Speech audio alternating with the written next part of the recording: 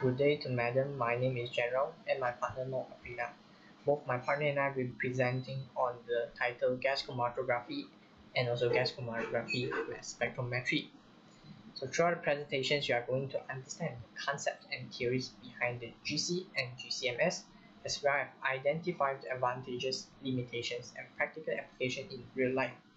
Finally, we are going to compare and contrast both analytical techniques. In general, gas chromatography is same as other methods such as FTIR and HPLC, except it's much more cheaper and reliable. To understand the components inside a mixture, so there are three major sections of the process.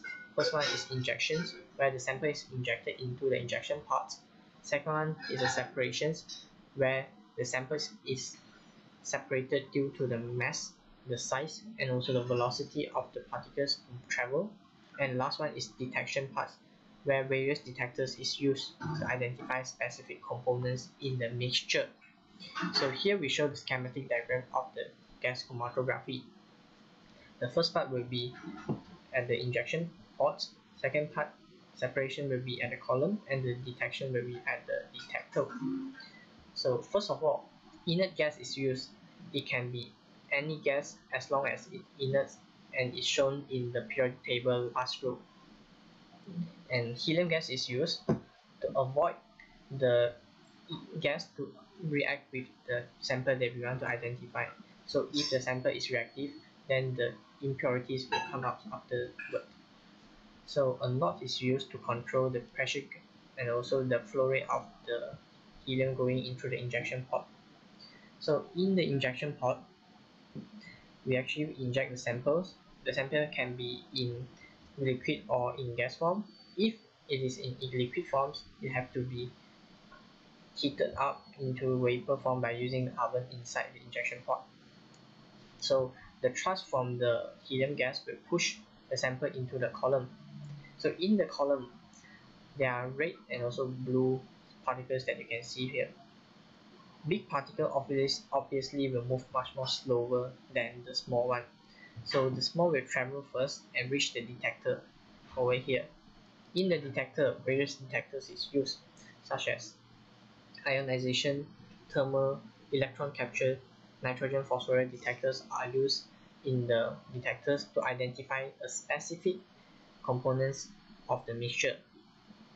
So after detections, it will send to an attenuator.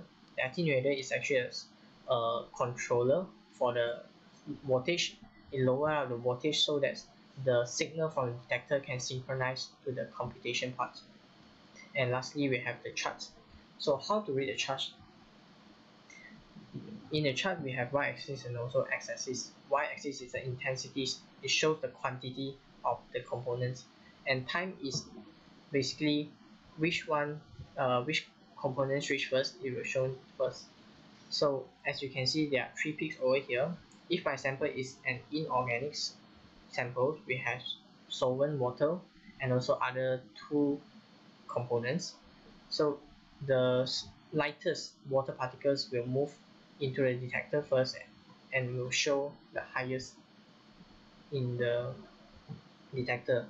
The highest peak here is represent the quantity so we can know that solvent water is the highest in the mixtures followed by other two mixtures so the larger the particles the slower it will reach the com the computation part so it will show at the last peak over here. Today I'll be presenting about gas chromatography mass spectrometry, also known as GCMS for short.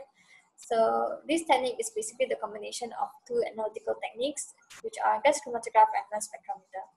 So gas chromatograph is used to separate components in a sample, while mass spectrometer is used to identify the components in a sample.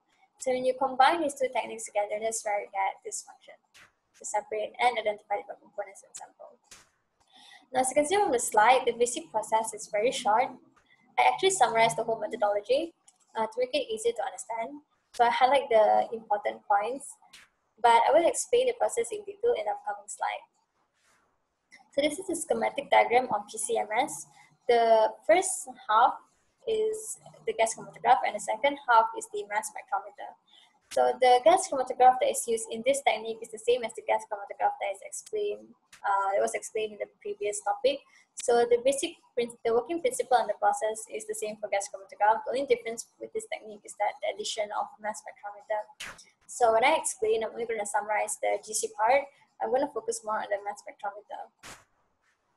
So how this method works is that it begins with the gas chromatograph. So the sample they analyze is vaporized and separated as it travels through the capillary column. And once it leaves the gas chromatograph, it'll flow into the mass spectrometer where it enters ionization source. So this is the place where the component is ionized. Um, there are three methods for them to be ionized, either through electron ionization, chemical ionization, or desorption technique. And once it becomes charged ions, it'll be accelerated and sent to the mass analyzer. So this is the place where the ions are separated according to its mass to charge ratio. And how it's separated depends on the type of analyzer used. Most common, most commonly is the quadrupole and ion traps. So once the ions are separated, it's sent to the detector um, to be quantified and identified. And, and then the detector will send data to the computer and the computer will record the data and um, transfer it to uh, visual display.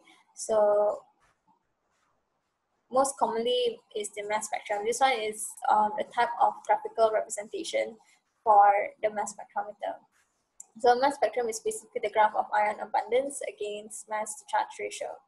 Another type is the total ion chromatogram. Okay, next is the comparison between GC and GCMS. So I'm only gonna, in this part, I'm only gonna highlight the main difference between these two techniques since um, it's already been explained earlier, the functions and advantages and everything. So one, in terms of function, the main difference is uh, for GC, it's used for separation, but for GCMS, it can separate and also identify the components in sample.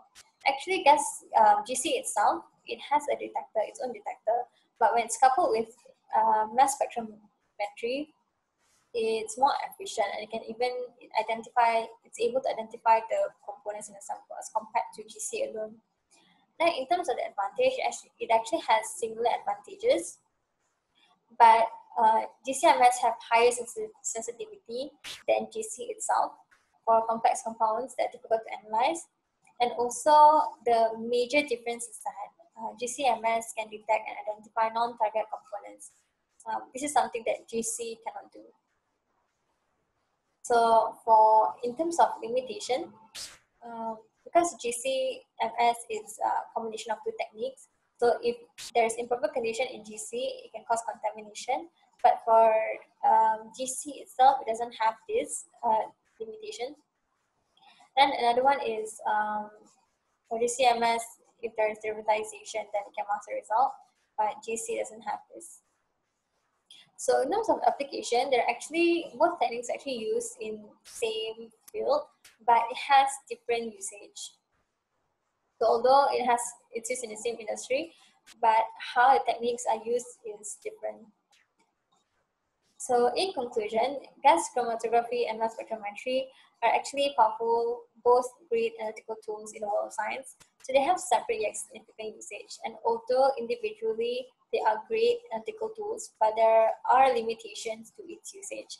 That's why scientists and chemists find ways to couple uh, one technique to another to form a more efficient device to enhance the capability of the uh, method. Uh, so this process is called the hyphenated method, for example, GCMS. So depending on the application, individually, uh, the technique has uh, great efficiency itself in the industry that they are used in. But when it's coupled to another technique, it has um, greater efficiency, greater capability with wider usage and less limitation. Okay, that's all from me. Thank you.